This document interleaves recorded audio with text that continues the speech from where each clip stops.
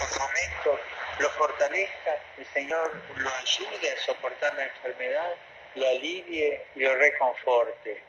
Es un consuelo muy grande la presencia de Cristo en la enfermedad, que nos toma de la mano y nos recuerda que le pertenecemos a Él y nada nos puede separar de Él. www.radiovaticana.va